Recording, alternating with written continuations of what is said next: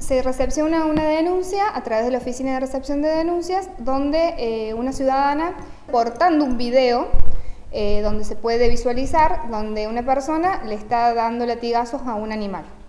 Eh, entonces, bueno, la, fiscal hace el requerimiento respecto a una, serie de medidas, se toman inmediatamente, se hace el allanamiento del lugar, donde se puede constatar de que había cinco animales, y que la casa donde se encontraban los animales era de un ciudadano que estaba fuera de la ciudad.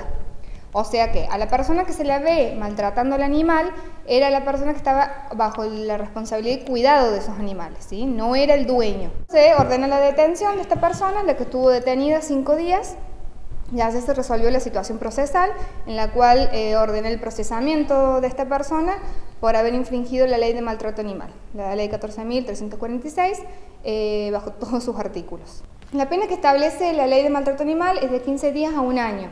No me corresponde, lo voy a aclarar, pues no me corresponde a mí, en, la instancia que yo presido, digamos, establecer la pena.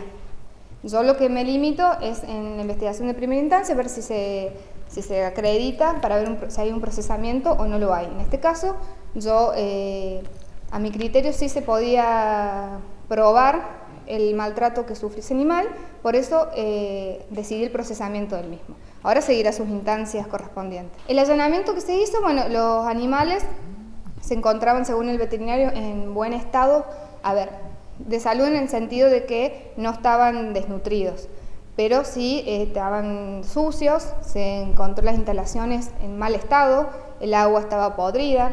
Por eso es que yo en el mismo auto intimo en el término de siete días para que el dueño del lugar reacondicione el mismo. ¿sí? Entonces, una vez cumplimentados esos siete días, se hará una constatación del lugar para ver si ha cambiado eso. No tenía antecedentes, por eso quedó en libertad llegan a filmar eh, algún suceso de maltrato animal, que inmediatamente hagan la denuncia, tanto por comisaría o, eh, si quieren que sea de una forma más inmediata, a la oficina de recepción de denuncia, como hizo esta persona, que mandó un mail y adjuntó el video. Se puede hacer hasta por WhatsApp.